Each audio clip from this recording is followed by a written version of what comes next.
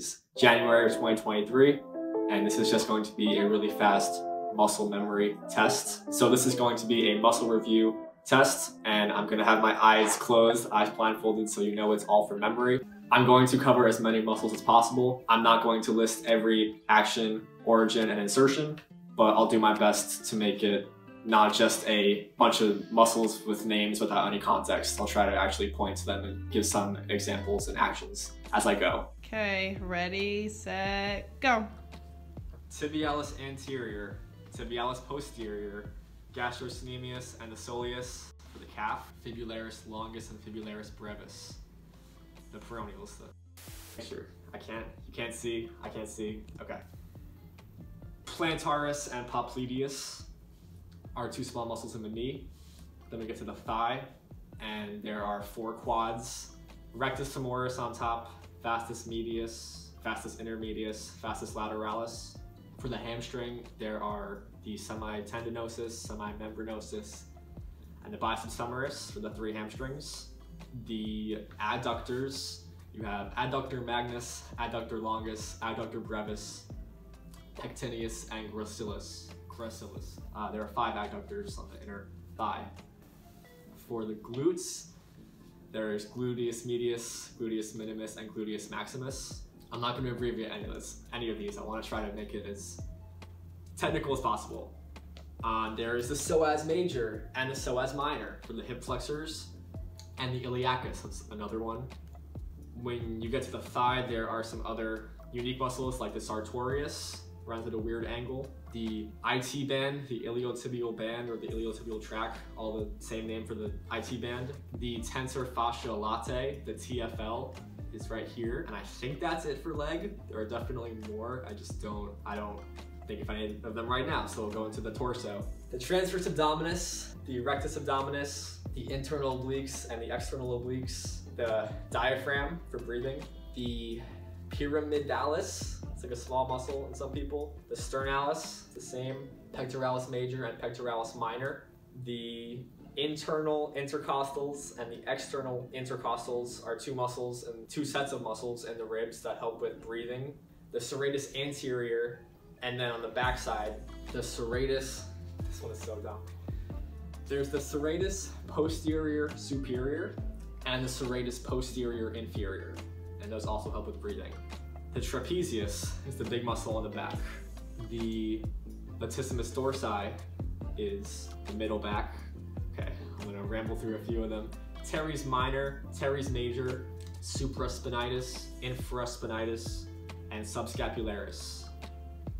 Teres major is last little helper, and the other four of those are the rotator cuff muscles. Rhomboid major and rhomboid minor. Um, where am I at, roughly? Girl, I have no idea. It's okay. I Um, forgot how to do tallying. It's all good. I'd say close Oh. to 50. Yeah. 50-ish? Okay. The levator scapula elevates the scapula. The deltoid shoulder, then to the arm next. The biceps brachii, yeah, biceps, biceps brachii, triceps brachii, the anconeus, brachialis, brachioradialis, coracobrachialis.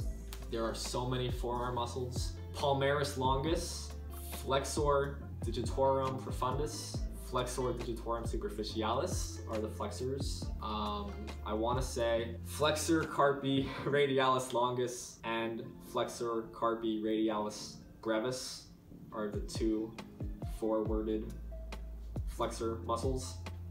And then on the opposite side, so that's all the flexors. The extensors, you have the extensor carpi ulnaris 30 seconds left. and uh, really? Mm-hmm. Okay, um, we're gonna go into neck and head and face. Um, anterior scalene, middle scalene, posterior scalene, sternocleidomastoid, platysma, masseter, temporalis, frontalis, occipitalis, mentalis, zygomaticus major, zygomaticus minor, Three, orbicularis oris. Two, one. I don't know what we're at. I have a few more though. I, that was most most of the. That was a lot. Um, I won't even lie to you. I didn't realize that some of these muscles were gonna be three words for one thing. explain as many more as I can. Orbicularis oris, orbicularis or oculi, orbicularis oculi are the eye muscles. You have the nasalis, procerus, the vader anguli oris, and the depressor anguli oris around the mouth. Um, corrugator supercilii, supercilii is is one. um, there's there's definitely more. Um, okay, uh, last few would be the the platysma, the stylohyoid, the omohyoid, the sternothyroid, the digastric is one. The digastric. Um, I don't want to forget any. Pec major, pec minor, deltoid. Like I'm missing something super important. Um, oh, the quadratus lumborum is a deep ab muscle in the torso. And the back muscles. So the, the big back muscles of the spinalis, longissimus, iliocostalis. Those are the erector spinae group. And then when you get to the neck, you've got higher levels of that, the splenius capitis, the splenius cervicis, and the semispinalis capitis.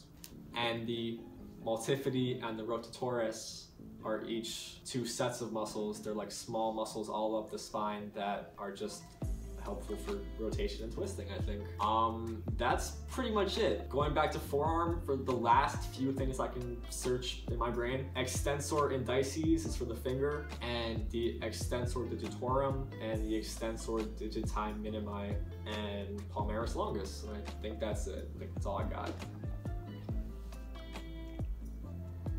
That was hard.